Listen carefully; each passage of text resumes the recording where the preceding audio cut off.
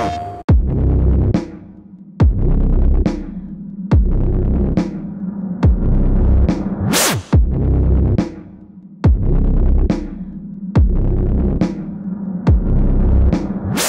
Watch Dogs is the story of Aiden Pearce, a modern day hacker who's tormented by the uh, guilt over the death of his niece. And he's trying to find the people responsible and at the same time protect his sister and nephew from tragedy coming back on them again. His family is important to him and you start seeing how important family is to him and how the mistakes he's made over his family before are really haunting him.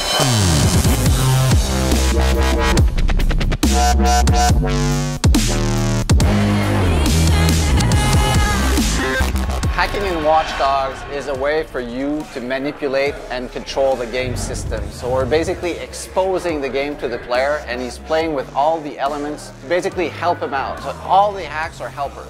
They're helpers while you're in stealth and combat, driving. So any at any moment, these hacks will give you that little boost or that little window, that timing to make you successful. And the player is given all these tools and we're saying use them how you want. From a player's perspective, you play like you want. But that's on you, you know, how you decide to play it. Uh, the city will reflect back on you. They will respond based on how you act. But we don't want to make that choice. It's a player choice. You, you decide how you want to play the game.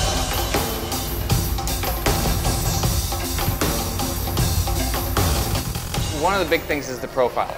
And the profiler is this thing that you know gives you details about every single NPC in the game. NPCs are often just seen as random civilians who uh, might have different looks, different animations, but you don't really see them as living, breathing characters with a life beyond what you see on the street. Because of our profiler, what the player ends up doing is they're the ones who bring the last missing piece. Subtly affects little choices, little micro choices you make in the game. So if you want to hack somebody, you know, you bring up your profiler, I, I want to hack their bank account. Well, now if you see they're unemployed, you might be like, hmm, maybe not. What we've done is we've ended up turning a whole city of what are usually just random NPCs that kind of block your path or whatever, we've turned them into living, breathing people.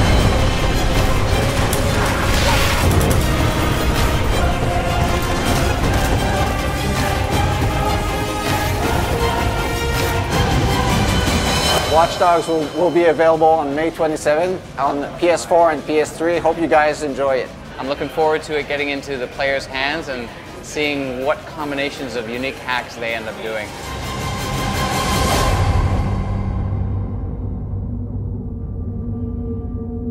PlayStation